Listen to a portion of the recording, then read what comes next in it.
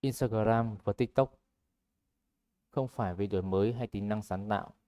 Instagram đã đánh bại TikTok về mức tăng trưởng và số lượt tải về nhờ lượng người dùng khổng lồ sẵn sàng có và bắt trước các nền tảng khác. Chỉ chừng 3 năm trước, mọi người còn nghĩ Instagram đã mất nhật trước sự bùng nổ của TikTok.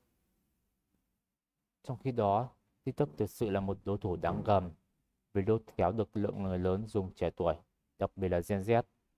Trong khi đó, Instagram gắn liền với các phong cách thẩm mỹ của thế hệ, với các bài đăng tràn ngập biểu tượng cảm xúc, hình ảnh trao chuốt và dàn dựng kỹ lưỡng.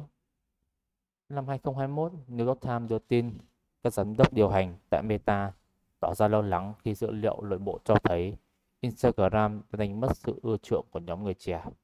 Hãng phải bơm vào chiến dịch marketing để lôi kéo người dùng quay lại. Một năm sau, The Atlantic tuyên bố Instagram đã chết. Nhưng chỉ 3 năm sau, câu chuyện đã sang một trang mới. Instagram đang trên đà trở lại thời hoàng kim. Not because of the innovation or creative future. Instagram has been TikTok is the term of growth and download thanks to its hot user giờ imitation of other platform. Nghiên cứu của Sensor Tower cho thấy số lượt tải xuống Instagram năm 2023 đã tăng 20%. Sao chị? Ok.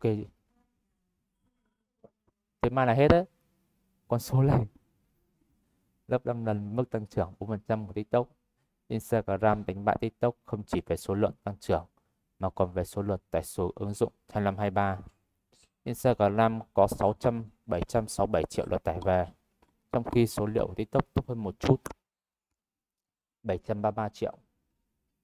Nói về lý do dẫn đến thành công của Instagram vào năm ngoái, marketer cho rằng một phần đến tới đấy, anh cho nhỏ anh à, mới Twitter ứng dụng này, anh cho nhỏ nhỏ tí anh ơi, anh ơi,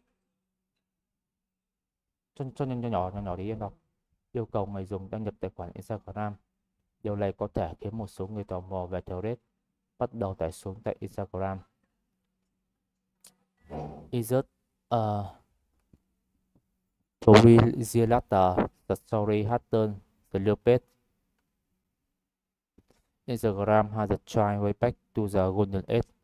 Sensor Tower Research Server increased Instagram download compared to previous year The figure in the fine time Creator, Zan TikTok grow Instagram beat TikTok.